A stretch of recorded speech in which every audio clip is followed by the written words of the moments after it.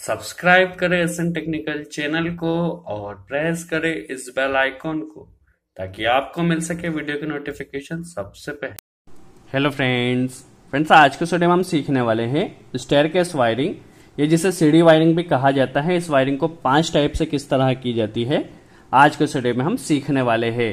Basically जो stair case wiring होती है, उसमें हमें करना क्या होता है तो उसमें हमें क्या करना होता है, एक बल्ब को हम दो प्लेस से ऑन ऑफ़ करते हैं। दैट मीन्स एक बल्ब को दो प्लेस से कंट्रोल करने के लिए इसका कनेक्शन पाँच टाइप से किस तरह किया जाएगा, हम यही सीखने वाले हैं। और सभी टाइप के कनेक्शन से आपका बल्ब जो है, आसानी से वर्क होगा। आप किसी भी कनेक्शन को कहीं पर भी कर सकते हैं। तो चलिए स्टार्ट करते हैं। बेसिकली जो स्टेयर वायरिंग होती है, उसके लिए हमें जो स्विच की रिक्वायरमेंट होती है, वो होती है टू वे स्विच की रिक्वायरमेंट टू वे स्विच में क्या होता है? बीच में हमें सप्लाई देना होती है और राइट साइड हम दो लोड को कनेक्ट कर सकते हैं। यदि हमने स्विच को इस तरफ़ किया है तो हमारा लोड यहाँ से यहाँ पे कनेक्ट हो जाएगा। यदि हमने इस तरफ़ किया तो हमारा लोड यहाँ से यहाँ पर कनेक्ट हो जाएगा। दैट मीन्स हमें टू वे स्विच की रिक्वायरमेंट होती है। और ये हमारा सिंगल वे स्विच होता है। सिंगल वे स्विच में क्या होता है? ये हमारा ऑफ़ पोजीशन होती है। यहाँ पे हम सप्लाई कनेक्ट करते हैं। यदि हम इसे ऑन करते हैं सप्लाई यहाँ से यहाँ पर निकलती है। बेसिकली सिंगल वे स्विच होता है। बट जो स्टेयर वायरिंग होती है, उसमें हमें टू वे स्विच की रिक्वायरमेंट होती है। तो चलिए कनेक्शन स्टार्ट करते हैं। सबसे पहले हम सिंपलेस्ट टाइप्स देखते हैं, जो कि हर जगह पे यूज़ किया जाता है। ये हमारे पास एमसीबी है, जहाँ से सप्लाई आएगी, यहाँ पे फ़ेज़ न्यूट्रल है, यह स्विच है, दो स्विच हमने यहाँ पे कनेक्ट किए हैं, यह स्टेयर दैट मीन लेडर है। यह सीढ़ी समझ सकते हैं, यह एक बल्ब है। दैट मीन हमें करना क्या है, इस बल्ब को इससे भी ऑन ऑफ़ करना है और इससे भी ऑन ऑफ़ करना है। दैट मीन दोनों स्विच से इस बल्ब ने ऑन ऑफ़ होना चाहिए। तो चलिए कनेक्शन स्टार्ट करते हैं। सबसे पहले क्या है, ये टू वे स्विच का है, दोनों हमारे पास टू वे स्विच है यहाँ पर। हमें क्या करना है? सबसे पहले टू स्विच का ऊपर वाले पॉइंट को इससे इससे कनेक्ट कर देना है और इससे इसे कनेक्ट कर देना है। दैट मीन्स दो लूपिंग हमें कनेक्ट करना है। अभी हमने कोई कनेक्शन नहीं किया है। दोनों जगह लूपिंग कनेक्ट कर दिया। फ़ेज़ न्यूट्रल की वायरिंग कहाँ पे की जाएगी? इसकी वर्किंग क्या होगी? समझ लेते हैं। अब जो हमारा फ़ेज़ आएगा, इस फ़ेज़ को हमें कहाँ पर कनेक्ट करना है? इसे ले जाकर इस टू वे स्विच के सेंटर में कनेक्ट करना है, यहाँ पर। जस्ट फेस के लिए इतनी ही वायरिंग थी, अब न्यूट्रल की वायरिंग कैसे करना होगी तो न्यूट्रल हमें यहाँ पर ले जाके इस बल्ब में डायरेक्ट कनेक्ट करना है। न्यूट्रल हमने बल्ब में डायरेक्ट कनेक्ट कर दिया, इसका जो बल्ब का दूसरा वाला सिरा होगा, उसे ले जाकर हमें इस टू स्विच के सेंटर में कनेक्ट कर देना है तो हमने यहाँ पर कनेक्ट कर दिया है। तो ये हमारा कनेक्शन कंप्लीट होगा, ये सबसे सिंपलेस्ट टाइप है, हमारा कनेक्शन कंप्लीट होगा। अब इसमें वर्किंग किस तरह होगी, किस तरह हमारा बल्ब ऑन ऑफ़ होगा, समझ लेते हैं। चलिए, हमारा बल्ब ग्लो कब होगा, वर्किंग समझते हैं, जब इसे फ़ेज़ और न्यूट्रल मिलेगा, बट न्यूट्रल तो डायरेक्ट मिल रहा है। फ़ेज़ हमारा इसके द्वारा कंट्रोल होकर जाएगा। इसकी वर्किंग हम टू वे स्विच से समझते हैं। सपोज़ हमारा ये जो स्विच है, वो इस पोजीशन में है। इस पोजीशन में है तो क्या हुआ? ये हमारी जो फ़ेज़ है, यहाँ पर आएगा। दैट मीन फ़ेज़ हमारा यहाँ पे कनेक्ट हो गया है। ये यहाँ से यहाँ पर आ जाएगा। अभी हमारा स्विच सपोज़ इस कंडीशन में है, यहाँ पर है। तो क्या होगा? यहाँ पे फ़ेज़ आ चुका है बट फ़ेज़ क्या है? यहाँ पर नहीं पहुँच पा रहा क्योंकि ये ऊपर की कंडीशन में ऊपर है तो ये लोड यहाँ से यहाँ पर कनेक्ट है। तो न्यूट्रल उसे यहाँ नहीं मिल रहा है। अब जैसे हम स्विच को यहाँ पर करेंगे जैसे स्विच को यहाँ पे लाए तो क्या होगा? जो लोड न्यूट्रल था हमारा, ये से यहाँ पे कनेक्ट हो जाएगा। तो फ़ेज़ यहाँ से आता हुआ, यहाँ से आता हुआ और हमारे बल्ब को मिल जाएगा। दैट मीन्स न्यूट्रल डायरेक्ट मिल रहा है और फ़ेज़ उसे यहाँ से मिल जाएगा। दैट मीन्स हमारा जब दोनों स्विच जब एक ही पोजीशन में होंगे, तब हमारा इसमें बल्ब ग्लो होगा। अब जस्ट जस्ट हम यहाँ से इसे ऊपर की तरफ़ कर देते हैं। ऊपर की तरफ़ कर देते तो क्या होगा?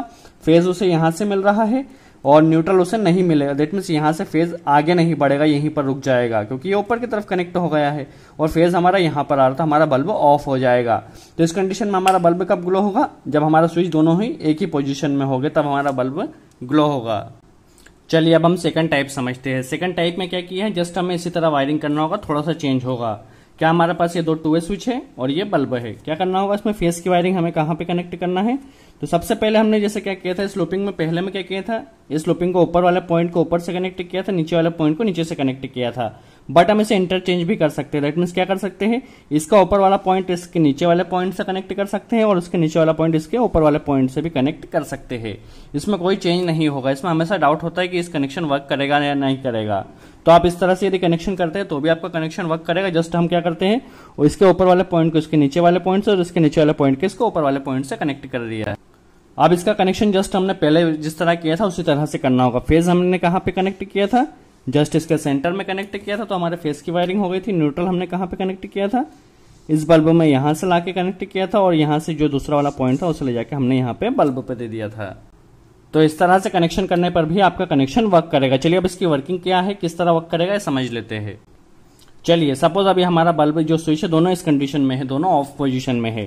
तो ऑफ़ पोजीशन होने कारण इसकी सप्लाई यहाँ पर आएगी, और इसकी सप्लाई यहाँ पर आएगी। अब इसमें वर्किंग क्या होगी, समझ लेते हैं। जैसे ये सपोज़ हमारा सब फ़ेज़ यहाँ पर आया, यहाँ से होता हुआ यहाँ पर आया।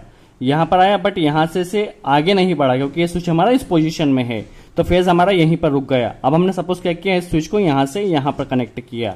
डेट मीन इस स्विच को ऑन किया। इस स्विच को जैसे यहाँ से यहाँ पर लाया तो क्या होगा? ये हमारा इसी पोजीशन में यहाँ से फ़ेज़ यहाँ पर आया। यहाँ से होता हुआ हमारा बल्ब को ग्लो कर दिया। अब हमारा फ़ेज़ जो बल्ब है, वह ग्लो होगा। अब सपोज़ हमने क्या किया? स्विच को यहाँ से यहाँ पर किया। यहाँ से यहाँ पर किया तो क्या होगा? यहाँ से फ़ेज़ हमारा यहाँ पर जाएगा। बट ये तो अभी इस पोजीशन में, इसे हमने यहाँ पर कर दिया। तो और ये इस पोजीशन में है। तो हमारा फ़ेज़ यहाँ पर आएगा बट ये तो नीचे जा रहा था। तो इस कंडीशन में हमारा बल्ब ग्लो नहीं होगा। दैट मीन्स हमें यदि इसे करना है तो इसे भी ऊपर करना होगा। तो हमारा बल्ब यहाँ से फ़ेज़ जो यहाँ पर आ रहा था, यहाँ से होता हुआ न्यूट्रल इसे मिल जाएगा और हमारा बल्ब ग्लो हो जाएगा। दैट मीन्स इस कनेक्शन में वर्किंग कब होगी? जब हमारा बल्ब कब ग्लो होगा? जब एक स्विच ऊपर की तरफ़ होगा और एक स्विच नीचे की तरफ़ होगा तो हमारा बल्ब इस कंडीशन में ग्लो होगा। चलिए, अब हम तीसरे टाइप की वर्किंग समझ लेते हैं। चलिए, अब तीसरे टाइप की वर्किंग हम समझ लेते हैं। इसमें थोड़ा चेंज हो अब हम नॉर्मली क्या कर रहे थे? न्यूट्रल को बल्ब के द्वारा दे रहे थे। बट इसमें कनेक्शन में थोड़ा चेंज होगा। चलिए फेस की वायरिंग हम यहाँ पे लाए और इसे ऊपर की तरफ़ कनेक्ट किया। इसे ले जाकर हम इस वाले स्विच के ऊपर वाले पॉइंट में कनेक्ट कर देते हैं। दैट मीन्स फ़ेज़ हमारा यहाँ से यहाँ पर आया और यहाँ से यहाँ पर आया। जितने भी कनेक्शन हम कर रहे हैं, सभी कनेक्शन वर्क करते हैं। आप किसी भी तरह से कनेक्शन कर सकते हैं। चलिए, अब न्यूट्रल वायरिंग करते हैं तो न्यूट्रल क्या हुआ? नीचे हमने यहाँ पे कनेक्ट किया और इस स्विच के नीचे वाले पॉइंट से दूसरा वाला स्विच का जो नीचे पॉइंट है, इसे कनेक्ट कर दिया है। जस्ट हमारा फ़ेज़ यहाँ से यहाँ पर आ रहा है और न्यूट्रल यहाँ से यहाँ पर आ रहा है। अब बल्ब की हमें वायरिंग करना था बल्ब के जो दो पॉइंट दिए गए उस एक पॉइंट को हम यहाँ पर कनेक्ट कर देंगे स्विच के सेंटर से, और दूसरे वाले पॉइंट को हम इस बल्ब इस स्विच के सेंटर वाले पॉइंट से कनेक्ट कर देंगे। दैट मीन फ़ेज़ और न्यूट्रल हमने स्विच में दिया है, और बल्ब के जो दोनों पॉइंट है, उसे हमने सेंटर में कनेक्ट कर दिया है, दोनों स्विचों के। चलिए, इस कनेक्शन की वर्किंग क्या होगी, समझ लेते हैं। चलिए, इसकी वर्किंग देखी जाए तो क्या है, हमारा फ़ेज़ यहाँ से यहाँ पे आया न्यूट्रल यहाँ से यहाँ पर आया। सपोज़ हमारा दोनों स्विच अभी इस कंडीशन में है, दोनों ऊपर की तरफ़ है तो दोनों के लोड यहाँ से ये कनेक्ट होगा, यहाँ से ये कनेक्ट होगा। तो इस कंडीशन में हमारा बल्ब जो है ग्लो नहीं होगा। क्यों नहीं होगा? क्या होगा? देखिए फ़ेज़ यहाँ से यहाँ पर आया, और यहाँ से इस बल्ब में देट मीन्स फ़ेज़ हमारा क्या होगा? यहाँ पर आया तो यहाँ से इस बल्ब में फ़ेज़ चला गया। अब हमारा फ़ेज़ यहीं से यहाँ पर जाएगा। अब ये स्विच की कंडीशन भी ये है। तो क्या है, यहाँ पे ये कनेक्ट है। तो यहाँ से भी इस बल्ब को क्या मिलेगा? फ़ेज़ मिलेगा। दैट मीन दोनों ही जगह फ़ेज़ आएगा।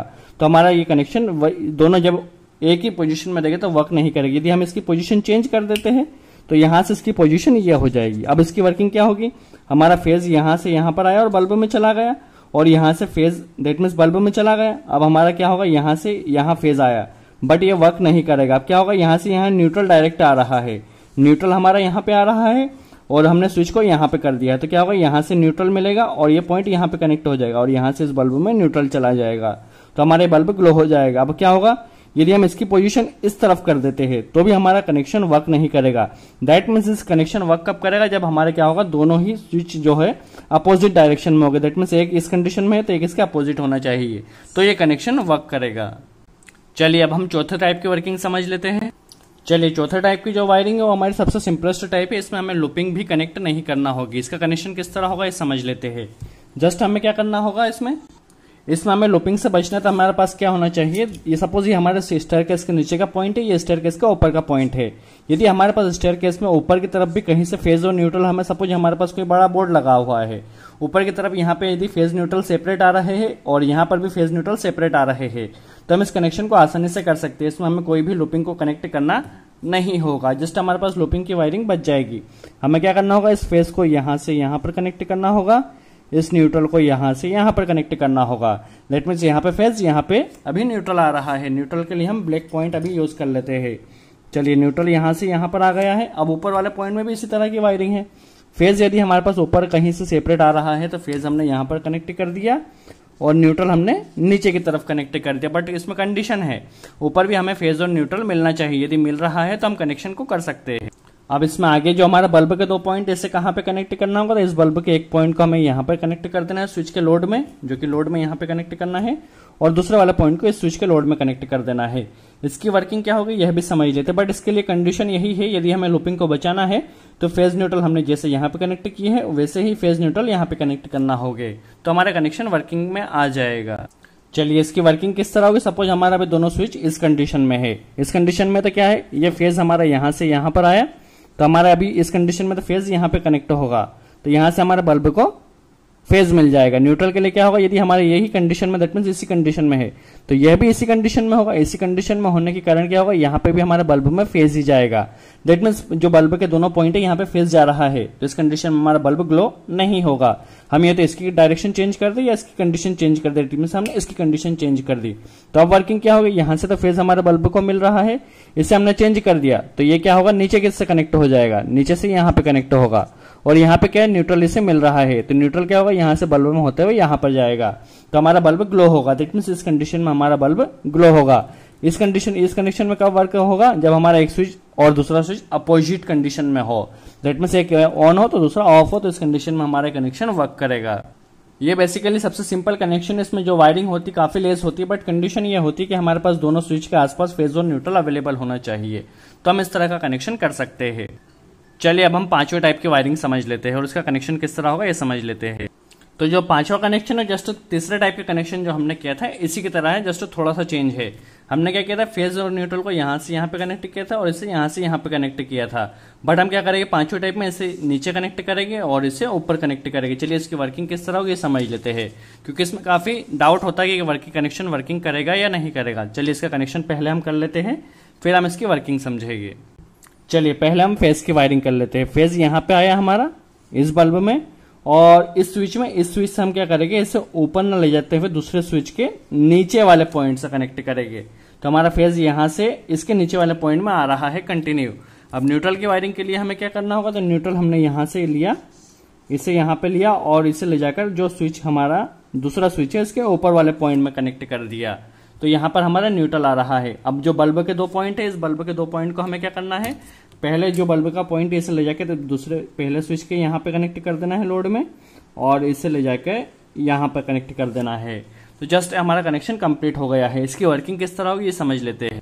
चलिए, इसकी वर्किंग समझते हैं। क्या अभी सपोज़ हमारा दोनों स्विच की कंडीशन ये है? दोनों स्विच यदि इस कंडीशन में है तो ये यहाँ पे कनेक्ट होगा ऊपर, और ये भी कनेक्ट होगा ऊपर। इस कंडीशन में हमारा बल्ब ग्लो होगा या नहीं होगा, ये समझ लेते हैं।